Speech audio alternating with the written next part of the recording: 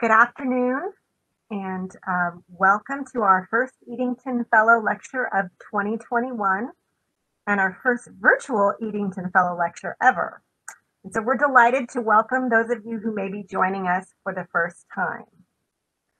Today's speaker is Dr. Fred Woods, Professor of Religious Education at Brigham Young University. In 2019, he was appointed to a BYU Endowed Moral Education Professorship and he's also a senior associate of Pembroke College at the University of Oxford.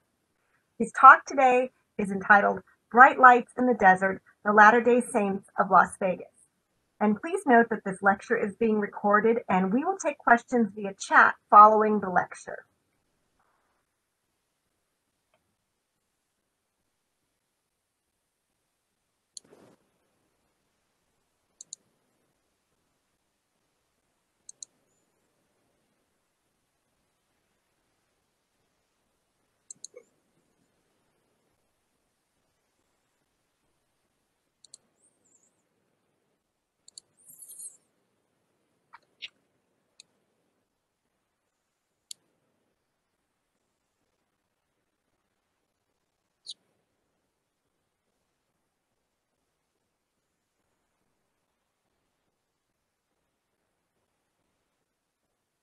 So this that's did you share? Did you share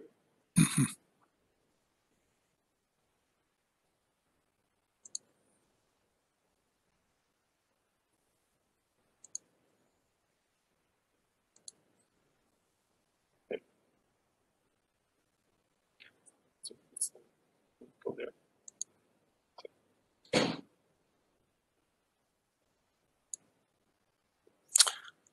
Okay, we had a little technical difficulty. First of all, I want to thank Su Kim for her introduction. She's been such a delight to work with and uh, so great to be with you today. Bright Lights in the Desert, the Latter-day Saints of Las Vegas.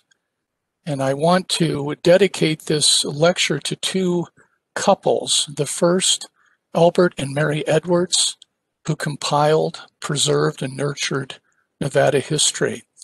I've been leaning heavily uh, for some time in 2020 on the Albert Edwards collection at the UNLV Lied Library Special Collections.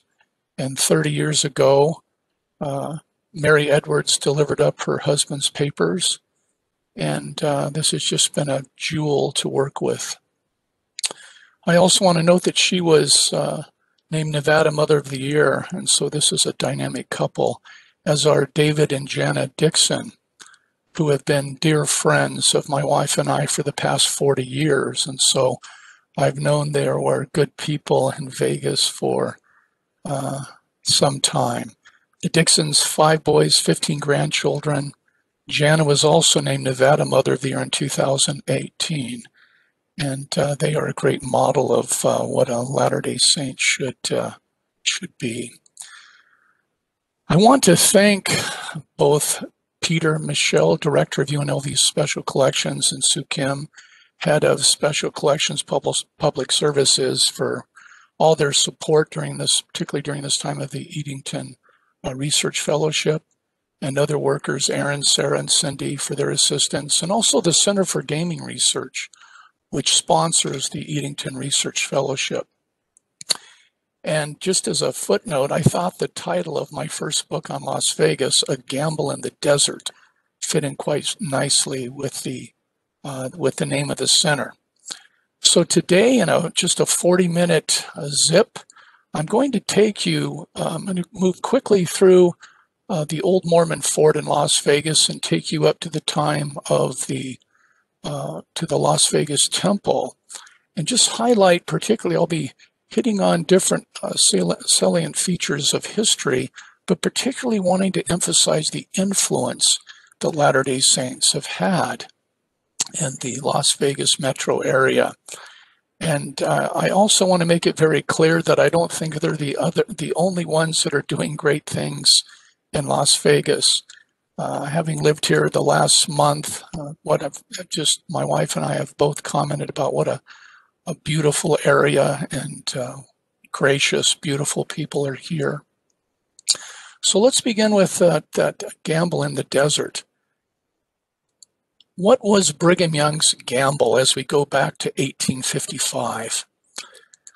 Sending missionaries, Latter day Saint missionaries, to establish a fort in Vegas, 450 miles from Salt Lake City, amid poor soil, unpredict- unpredictable Paiutes, and where some might say it was so dry that the lizards were wearing canteens at, at the dawn of summer.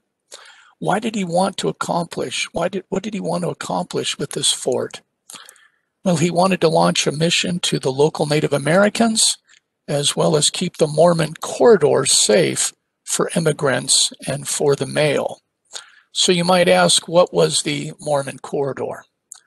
Well, it was a path that ran about where I 15 runs today from Salt Lake City all the way down to the coast here, where um, Southern California, where I grew up. Brigham Young was very gifted at uh, colonization.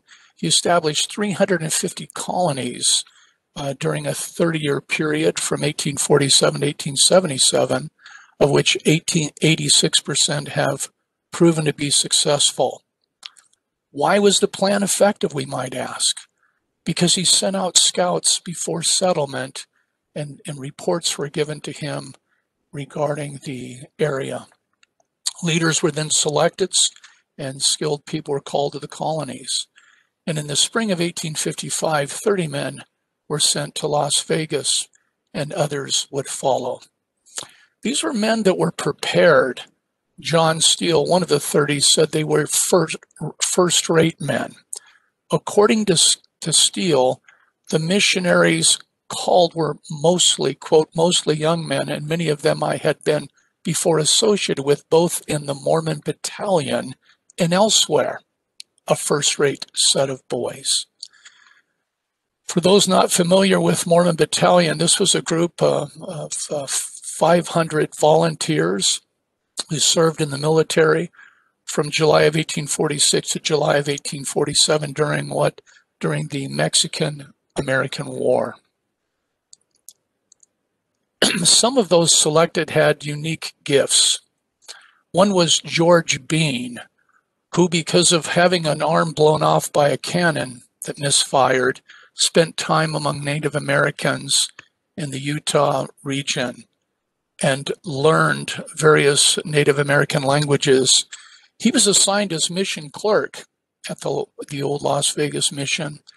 And he also wrote the official mission history and kept a personal journal as well. From various entries, daily entries, we know it took five weeks to travel the route from uh, Salt Lake to Vegas. And we know they arrived, the first group, on June 14th of 1855. Just a few days later, they were already laying out the fort, 150 feet square, and farming, uh, etc., clearing off and planting their gardens, as we know from the official church record that he kept. John Steele uh, drew this hand-drawn map and uh, kind of showing where the fort was and the, the region where they laid things out, including the original gardens and the corral and the adobes. The leader of the mission was William Bringhurst, who there, and there was a correspondence going on continually with President Brigham Young, and that cache of letters is very valuable for primary resources. In one letter that was later published in the Latter day Saint periodical, the Deseret News, Bringhurst wrote, wrote to Young, shortly after he arrived here, we assembled all the chiefs and made an agreeable treaty with them for permission to make a settlement on their lands. We agreed to treat them well, and they were to observe the same conduct towards us and with all white men. Peace was to be preserved with all the immigrants traveling through this country as well as the settlers. And as I mentioned earlier, their, their primary mission was to do um, to work with the Native Americans, both in helping them to prepare gardens, but also to teach them um, principles of spiritual salvation. Here's a wonderful image that we have in the late 19th century of a Latter day Saint missionary baptizing a local Native American in the St. George area. And we have this note by Bringhurst that on this particular day, uh, in November, early November of 1855, they had baptized 60 or 56 local uh, Native Americans. We also know, though, that the mission didn't last long, just about two years. And there was uh, also plan not only to teach the Native Americans and to protect the Mormon corridor, but also to be involved with mining. And there were some misunderstandings, some power struggle between uh, Nathaniel Jones, who led the mining group, and also Bringhurst. And eventually the mission was closed uh, with another important external factor of having 2,500 military uh, men coming into to uh, the area, what, what was came to be known as the Utah War, uh, or also known as President Buchanan's blunder, as they wanted to displace Brigham Young as governor and to put in a new governor feeling like he had too much power in the territory. After it closed down, though, we know that Albert Knapp, one of the first 30 missionaries sent to Vegas, he came back to the, to the fort a few years later and was involved with selling goods to the local miners in the area. And then later his brother William came along and service passing wagon, wagon trains. Latter-day Saints eventually left the area at this time, but the fort remained an important part of the Las Vegas history and was preserved largely through the efforts of the Daughters of the Utah Pioneers, who were very persistent. The DUP, as they're known, is attested 650 times in the RJ, and the title Mormon Fort occurs nearly 1,800 times in the Review Journal uh, for an average of 20 times per year. So you see that continually in the mind's eye of the Vegas community in the 20th century and into the 21st century the importance of the Latter day Saints as the first white settlers in the area who left their mark and have this at the Old Mormon Fort, this the oldest standing building in uh, Nevada. Now, moving ahead several decades, we have the first branch of the Church of Jesus Christ of Latter day Saints, uh, launched in 1915. Newell K. Leavitt began working for the Clark Forwarding Company in 1912 as a clerk and also delivered goods to customers in the Vegas area.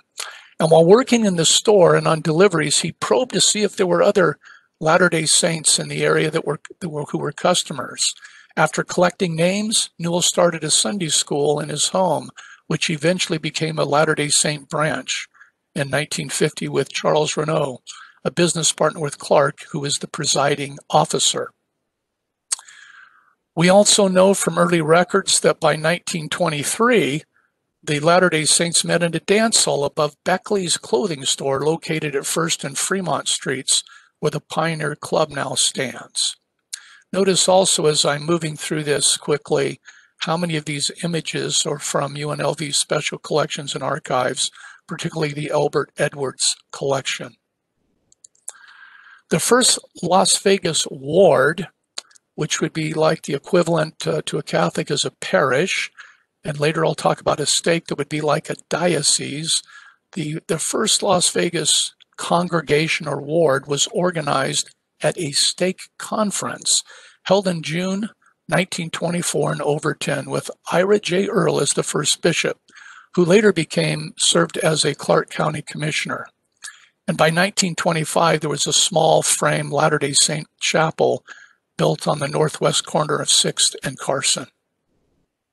Two years later, we find this wonderful image again in the Edwards collection of the Latter day Saint Sunday School taken here at the county courthouse. In this same year, we find the first Latter day Saint Las Vegas Scout Troop was created, troop number 63 with Marion B. Earl as the first scoutmaster. And just as a footnote, I would point out that for nearly a century, Latter day Saints have been a tremendous blessing to the Las Vegas community. One who's been heavily involved in the, in the scouting program is local LDS attorney and scout administrator William Stoddard, who noted in a recent interview if you looked at the members of the church and their involvement in the Boy Scouts here in the Las Vegas area and Clark County or Southern Nevada, frankly, the church has been the backbone of scouting. Stoddard was recently called as the new Las Vegas, Nevada Temple president and will begin that assignment in the fall of 2021. Moving ahead from the 27 scouting uh, period when it was launched three years later, you can get a feel here of the demographics where the church is now 410 members out of 5,000. And I thought that uh, this postcard dated to 1930 is helpful because it reveals that the Church of Jesus Christ of Latter-day Saints was great was gaining greater visibility. And we also get a sense that it was 8% of the population. This again from the Lied library special collections and archives. During this same period, the, the Mormon fort and the Hoover Dam, we have this connection. We know the Hoover Dam, they start erecting it in 31. And we know that at the Mormon fort site, it played a part in the construction of the Hoover Dam when the Bureau of Reclamation leased the Adobe building and uh, used it as a concrete testing laboratory. We had a number of Latter day Saints among people of different cultures and faith who worked on the dam.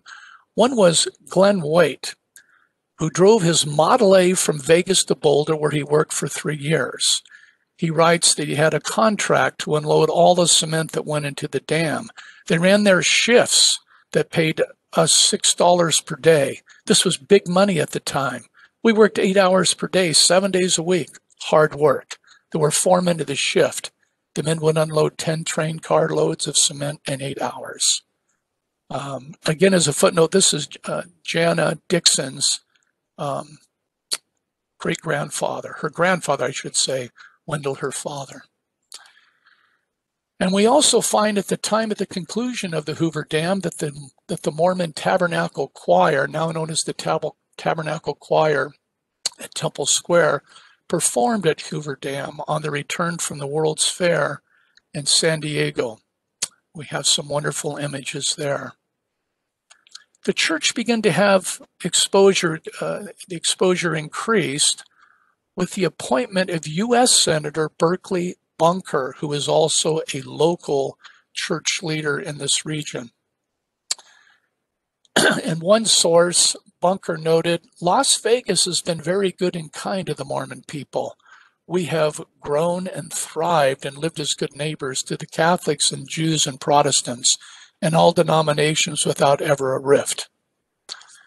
I, I also wanted to point out as an aside that I found it very interesting that I did not find any anti uh, Mormon or Latter day Saint literature in the local Las Vegas newspapers until the late 1970s, which is quite unusual for a, um, a city that's the size of Vegas. Moving on to World War II, there was Latter day Saint activity that was going on with their support of the soldiers, both overseas as well as in their local area. And by this time, the population of Las Vegas was about 30,000, with uh, 10% being Latter day Saints. The church continued to grow. By 1954, Las Vegas had its own stake, which is, like I said, like a diocese of several thousand members.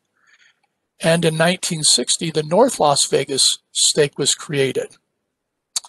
60 years later, we now have 27 stakes in the Las Vegas metro area, a stake averaging about 4,000 members of the Church of Jesus Christ of Latter-day Saints. I also wanted to show you this, this image of the Las Vegas Convention Center where there were large meetings that were held by Latter-day Saints on a regional level. And, and also note that during this time period we've been talking about, we have businesses that are growing. One early one was MJ Christensen Jewelers, and a Latter day Saint local newspaper, The Beehive, promoted the different Latter day Saint businesses and also helped with political inserts. And by the time of 1994, their readership was about 75,000. In the mid to late 20th century, we also have people such as the famous Howard Hughes that was working with Latter day Saints. Uh, we know he spent four years in Vegas, and according to a man that Hughes worked with for three decades, he said, Hughes said, I think the Mormons have the most integrity of any group of the country. They take care of their own people and they won't accept help from charity or the government. And I like and I like they don't drink liquor. You can trust them. Other Latter day Saints who were uh, in the mid 20th century were Parry Thomas, an influential banker. Here you see a, a photo here with Wayne Newton and Frank Fahrenkopf that's again in the collections. A person that helped to keep the mob in line during this period was Sheriff Ralph Lamb, also a uh, a Latter day Saint. And although Parry and Lamb were not in uh, church each Sunday, they had deep roots from their childhood and brought principles of integrity into the marketplace for which they were known.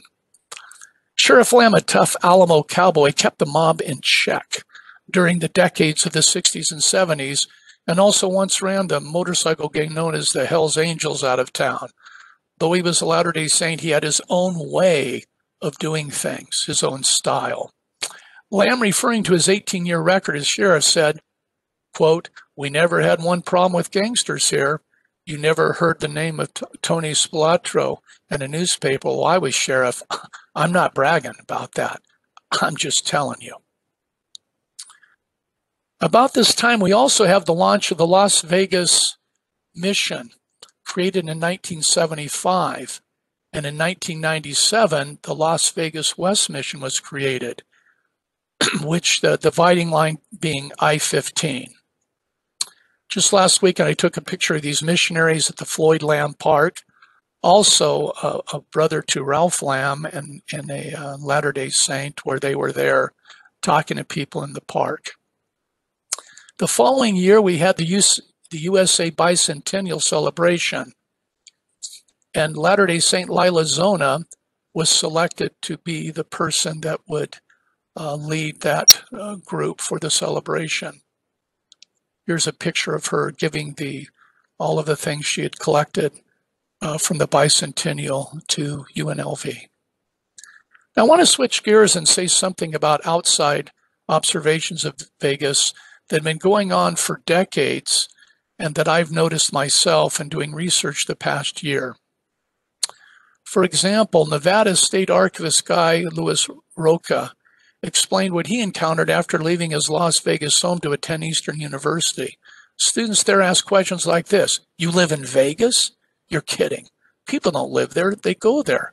Where do you, where do you live? In a hotel? The only image of town was one long strip of casinos, hotels, and motels, and mobsters running amok. I found out in about 100 interviews I've conducted this past year, one with Mayor Carolyn Goodman, that there are people that feel like many people that Vegas is a great place to live. And in her interview, she talked about how faith was improving the areas. I note, she said, We now have the nonprofits and our faith based leaders, all of them working together to create the harmony and a beautiful place of living which we who live here love. The Sodom and Gomorrah sin city, that's not us. It might have been back when it was be- being created, but the reality, the good far outweighs any of the negatives, and it's, be- and it's beautiful to see how the different faiths are united. One of the people that I've really enjoyed interacting here, along with Su Kim and Peter and others, is Claytee D. White, who is the inaugural director of the Oral History Research Center at UNLV, that is exceptional. Clay, Clay T explained that spiritual life in Las Vegas is very important to the people who live here. Another person that I visited with is Latter day Saint Heidi Gresham Wixom, a middle school teacher and community activist who led an effort to clean up loot billboards in the Vegas area. She stated, as cited in the RJ, we shouldn't be forced to throw a quarter on the floor when we pass a billboard and want our kids to divert their eyes. 99% of the billboards are decent. It's the 1% that's not exemplary. People forget this is not just a tourist attraction. We are home to a million and a half people where we live and drive and take our children. So she led a successful effort to clean up the billboards. Howard Bullock, very prominent businessman in Vegas, talked about how Vegas was a great place to raise kids. And I heard this over and over again from people of varied faiths. he notes this is a wonderful place to raise children. The reason why is because our children see the black and the white. He noted where sin abounds, grace abounds more.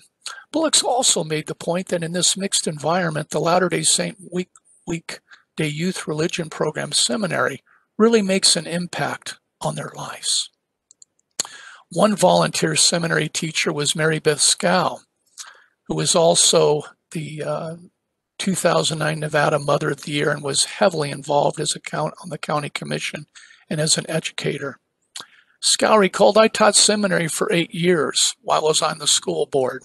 Such a wonderful experience. I would always tell my students what you're learning here is fortifying you to go over to that high school and, and to be able to face the things you're going to hear, the things you're going to see. She notes, I had an experience one time with our principal at the high school. He said, Sometimes I come out to watch your kids come over here because they are light to my school. They're coming from class from early morning, say 6, 6.30 in the morning and going over to the high school uh, to begin their regular secular education for the day. One of the supervisors of seminary at Shadow Ridge is Tammy Stout. She also concurred that the administrators, she notes, have commented to us on numerous occasions that when our seminary is dismissed and as they're walking over one block to the high school, they'll get on the radio and say, Do you feel it? And they will say, Yes, they're on their way, meaning they can feel the goodness of these seminary students as they walk onto that campus. That that has been commented back to us on multiple occasions of just the caliber of these students and the good spirit that they bring. One of the teachers at Shadow Ridge that I interviewed, Paige Smith, a Catholic, a 17 year veteran teacher there, said, when Shadow Ridge first opened, the church wasn't built yet, so had seminary in my classroom. I think having seminary before school was great for the kids because they get a little bit of that moral compass, and especially in the morning. She went on to say a lot of times the Latter-day Saint kids, they were involved in student council, which puts on the assemblies, dances, and they're kind of the driving force. I know that others look to them as leaders and as role models. Current North, North Las Vegas Mayor John Lee observed as a non-member of the Latter-day Saint faith when he was in high school, he said they, they were usually, speaking of Latter-day Saints, the smartest clubs in the smartest clubs. They were elected to things, and the rest of it just kind of followed along. We knew dang well they should be the president of the school because they would just do the job instead of just goofing around. So they held a lot of positions of leadership within the school. One of the people that I really enjoyed uh, interviewing, along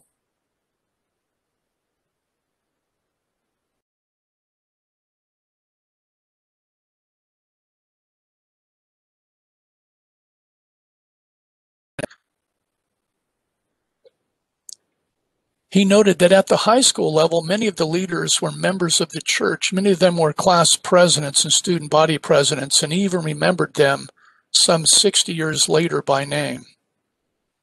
One of the things that I was impressed with doing this research, I came down to Vegas in April on one trip, and I heard the Latter-day Saint Zion's Youth Symphony and Choir, um, that this wonderful group of kids that are high school age 14 to 18, who joined under the direction of the founders, Carolyn Taylor and Jenny Jackson, and um, are able to perform this beautiful, inspiring music for others. As far as education is concerned, I did a little math and I found out I was surprised to find there are 33 schools in Clark County named after Latter day Saints. You can see the names of those I don't have time to go into, but I thought that this was an interesting fact. I also noticed uh, the Reed Whipple Cultural Arts Center that I've been reading about and learned more about Whipple, how he was very involved not only in his church as a Latter day Saint, but as an area scout leader and president of the Lions Club, and of uh, the fact that when the city purchased this church building, they named it the Reed Whipple Cultural Center in his honor. A very distinguished gentleman and uh, lady that I recently met before the, his passing was Lloyd, Judge Lloyd and LaPrele George, who've certainly left their mark on Vegas, as noted here with the uh, U.S. courthouse being named, the federal courthouse being named after Judge George that recently passed away. So we have these wonderful buildings that are named after influential people. As far as entertainment, as we go into the, the final uh, fourth quarter of this presentation, we have uh, Donnie and Marie Osmond. I had the good fortune of interviewing them. Delightful people. They, they, they performed in Vegas, a running show for a dozen years, and were rated uh, number one show three times during that time period. Of course, we cannot uh, neglect Latter-day Saint convert Gladys Knight, who is a Motown legend.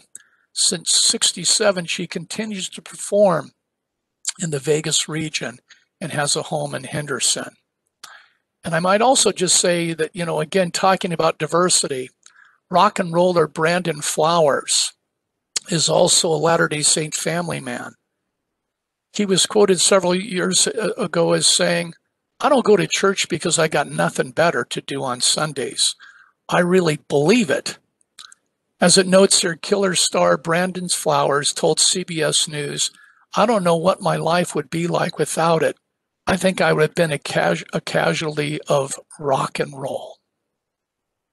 Switching now to the political arena, um, my interview with Mark Hutchison, former state senator and lieutenant governor of Nevada, um, I learned that one of the keys I wondered why there were so many Latter day Saints elected is because he said we'd run for office and there was effective networking.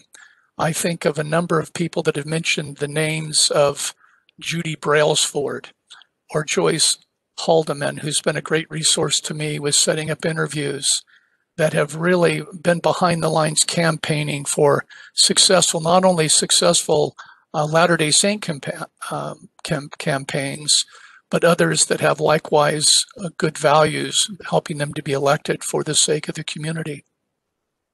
Hutchison said, Latter day Saints have natural grassroots networks and resources available to them because they have they have people who embrace the same values that they have that, that they are running on. Latter day Saints say, Come embrace my candidacy because you embrace my values. Those are reasons why Latter day Saints are probably disproportionately engaged in and successful in elected politics in Southern Nevada. You can just see here a, a wide list of, um, I just gave this as a sampling of various people that have been elected in various areas. And, uh, you know, I get on the road and, and 215 going east or west, and I think of my interview with Bruce Woodbury. I think of the papers of James Seastrand, who's had such an impact in this area, and interviewing Harry Reid and Mary Beth Scow and uh, Ray Rawson and Mayor Lee and others that are noted here. Of course, Senator Harry Reid uh, has served in the served in this in the U.S. Senate for uh, several decades. Some of the former Clark County commissioners, Jay Bingham and Bruce Woodbury here, have offered great leadership. Here's another, uh, here's a picture of James Seastrand and, and his good wife, Roselle, who also was a 1996 Nevada Mother of the Year. One uh, local Latter-day Saint, uh, Christy Bullock, has been involved with the American Mothers Association and uh, heavily for the last decade or two and helping with that area. The current mayor of uh, North Las Vegas, John J. Lee, I've enjoyed interviewing and, and learning more about the community, as well as Mo Denis, a current state senator. And recently, former Henderson Mayor, current uh, Clark County Commissioner and Vice Chair Jim Gibson sent an email uh, at my request uh, about Latter-day Saint influence, noting the Latter-day Saint community has always been active in Las Vegas because they sincerely care about their community. With their committed involvement, they count on their voices being heard to have influences on decisions made at every level. As an elected government official, I know I can count on their input on policy issues, land use issues, and more, because they truly care about their neighborhoods and community as a whole. Now, shifting gears, this was, I mentioned, I wanted to go from the Old Mormon Fort to the Las Vegas Temple. This was a very important um, uh, piece of history for Latter-day Saints in this region. And I was amazed that nearly 300,000 people toured the temple from varied faiths uh, during the last three weeks of the year in 1989 before it was dedicated in December. Tom Thomas, son of famed Las Vegas baker Parry Thomas, observed when the announcement came out, what I remember was a great deal of support from all the other faiths. And I believe that the building of a temple in Las Vegas to members of other faiths was a bookmark. That's a good place. This is a community. There are families that are here. And now the Church of Jesus Christ of Latter-day Saints is going to build a temple here. Through the papers of Jim Seastrand, who served as point man at this time with the temple committee, there's some wonderful, wonderful um, observations about the temple and the people uh, from those that passed through of the Jewish faith or Protestant faith and uh, a variety of people and world religions talking about how they were touched at that time of going through the open house before it was dedicated. Local Latter-day Saint Ashley Hall, who served for years in the city, um, mentioned as a, a, volunteer working at the temple, a, he had been a city manager, as you know, for many, many years. He said, I've had people come in that front door of the temple, non-members, who would say, why does this temple shine? I mean, I live down the hill a little way and I find myself on the back patio and I look up at this glow around the temple. It doesn't have lights on. It does at night, but, but not in the daytime. I wanted to mention that within just one week of the opening of the Las Vegas uh, temple for the Church of Jesus Christ Latter-day Saints, the Mirage opened at a cost of $1 billion. And I found an interesting editorial by John Ryan, journalist for the Las Vegas Sun at this time, who toured the Latter-day Saint Las Vegas Temple days before the dedication. He wrote, quote, there are two new structures in Las Vegas. One, the Mirage is indeed an impressive building, but for graceful beauty, there is the Las Vegas, Nevada Temple. There you are transported to another world apart from the frenzied Las Vegas life. Now we have a great temple to share pride with its members. And here's a, a beautiful image my colleague Martin Anderson took. We're co-producing a uh, documentary on uh, with the title of Bright Lights, and uh, that will be a companion to the book I'm writing. Bright Lights in the Desert, the Latter-day Saints of Las Vegas. Before we wrap up, I just want to mention there's a number of service projects that have been going on for a long time here with Latter-day Saints and often holding hands with members of other faiths to do good things in the community. I was very touched with a newspaper article that led to many interviews with the Greater Evergreen Missionary Baptist Church and also Latter-day Saints um, because of their church burning down in 1983 and Latter-day Saints coming to help rebuild it. Charles Johnson, stake president on the left here, and on the right, Terry Johnson, and the local minister of the Evergreen Baptist Church are here uh, with uh, much joy as they completed this project. Later, I wanted you to note that the, the minister of the Evergreen Missionary Baptist Church, this wonderful African American man, came down, and when there was a bit of, a little bit of scuttle about the traffic that might be a problem with the Las Vegas temple at a board meeting in, in the city, he stood up for the Latter day Saints as the Latter day Saints had helped him.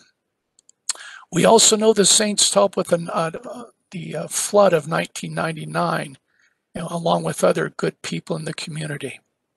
Now, as we wrap things up in the final two minutes here, I want to quote two local journalists that I've interviewed. Well-known Las Vegas journalists Jon Ralston and John L. Smith described the Latter-day Saint impact on their community. Ralston observed, their influence has been pervasive because it's been so broad and so deep. They were known for standing up, men of moral rectitude. John L. Smith added, You cannot say that Las Vegas would be anywhere near what it is today without that tremendous influence of some very dedicated people who happen to be Mormon in faith and practice.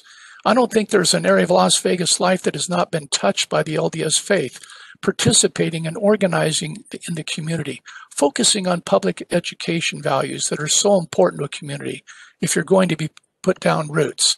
I think the greatest contribution is stability. To have members of the community that are stabilizing influence, influencers cannot be stated. It's so important. And finally, Senator Bryan on Latter day Saint Influence said, Richard Bryan, the LDS community has had a profound impact on Southern Nevada, dating back to the early founding of the mission in 1855 here in Las Vegas and the growth of the community largely in the early days. They brought with them strong fam family values. They brought with them the virtue of hard work, discipline, all of which is part of the value system. But always it was family. Family was first, not second, not third. And the family structure impresses all. We don't understand necessarily the theological roots to the belief, but the family values, the civic responsibility. In effect, they're good people who help us to make Las Vegas a good city for all of us to live in. And so Latter-day Saint contributions to Las Vegas Milu demonstrate the symbiotic relationship forged between a conservative sect and a vibrant ecumenical community. Along with many other faith-based peoples of various cultures and denominations, well over 100,000 local members of the Church of Jesus Christ of Latter-day Saints have helped bring family values, morality, community service, wholesomeness, and stability to the Las Vegas environment. Though they represent only about 6% of the population, they are among the most influential citizens and certainly a part of the fabric which makes Las Vegas a great place to live. And again, I wanted to just put the credits and thank these folks that have helped. And thank you so much for listening. I'll now take questions, which you'll need to um, just put in chat. And I will won't have time with um, I think there's about 168 people listening to go through um, maybe all the questions there might be, but I'll pick and choose as I can.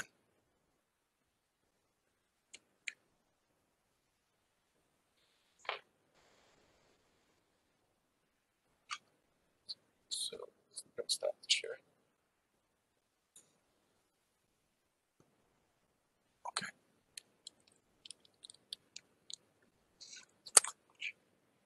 Okay.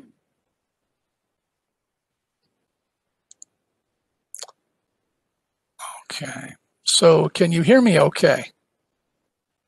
Yeah? All right.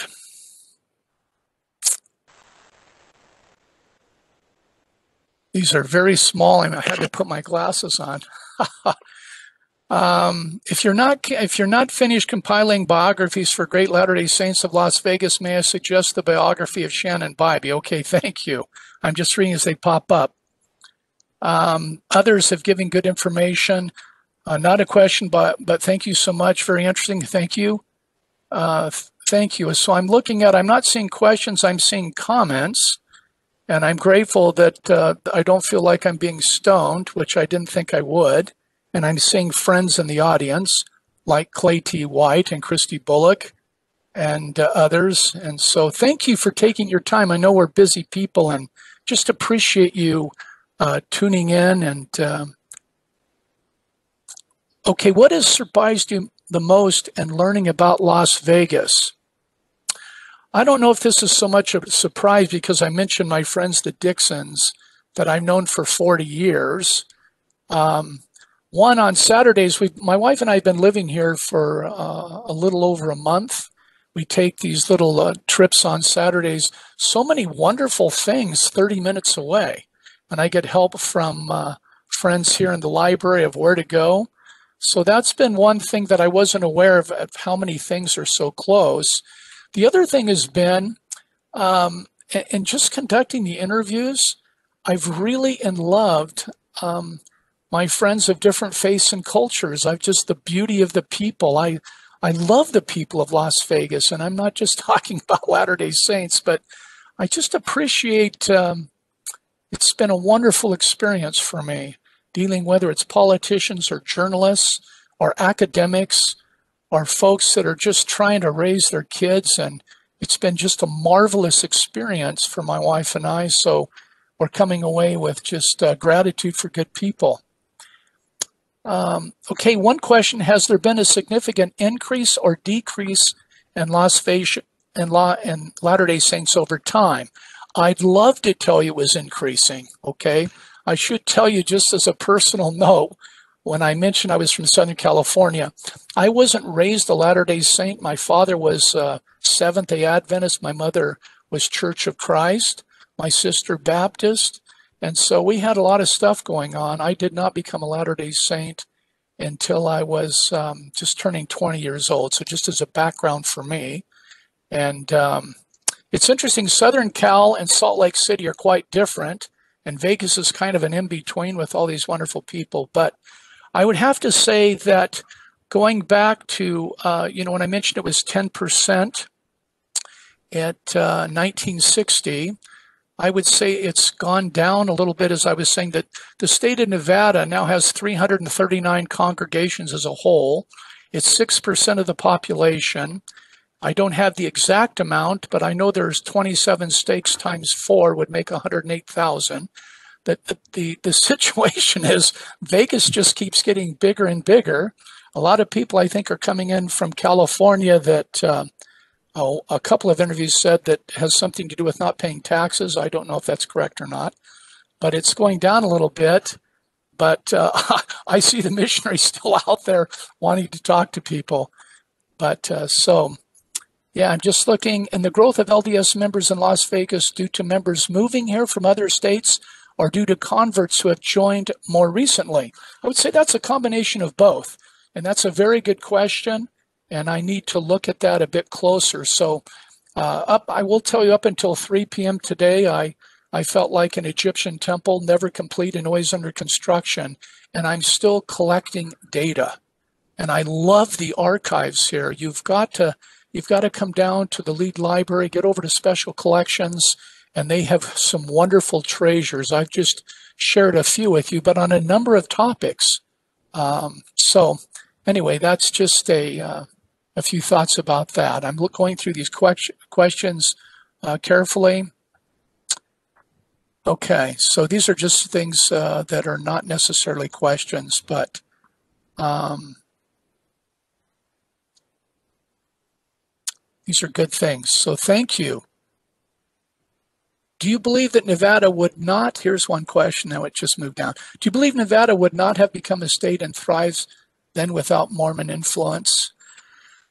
I think there's so many great people in Nevada that I have to say I think it would have thrived, but I think the Latter-day Saints helped in their degree to help it to be a better place. But um, that's why I mentioned at the outset, I didn't want to say the Latter-day Saints were the only ones, but, but part of the fabric. I've met too many people of different faiths to know that uh, they're not the only ones, but they they're an inclusive group that wants to be part of the community and make it a better place like you folks do. So I think that uh, we are now at the time. So Su Kim, I'm going to turn it back to you. I think I've handled the questions. I again want to just say thank you so much to the Lied library. Thank you to the staff that have treated me so well, and especially Su Kim. Thank you. And um, I just enjoyed being with you today. I'm grateful for the technology that allows us to meet in these unusual circumstances. So thank you so much. Speaking of uh, technology, we want to uh, send a big shout out to our colleague Key Choi for helping us with the virtual meeting. He was essential to this, so thank you, Key, for keeping us on track and making us not have a nervous breakdown. And uh, so I wanted to you know, I know that uh, Dr. Woods was not able to get to all of the questions, but I'm sending out right now in the chat his email. So if you have questions, you can definitely send those to him. Um, and I, as I mentioned in the earlier part of the presentation, this is being recorded, so we will soon have this uh, uh, a recording available. Um, I will likely it will likely be on the link to uh, uh, the Special Collections website, um, or uh, so uh, you can look for that um, uh, in the coming days. So thank you so much, and thank you, Dr. Wood. It's been great Thank you so here. much. Thank you.